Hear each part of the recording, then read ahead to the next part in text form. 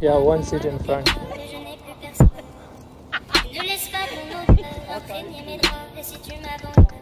Hold tight, huh?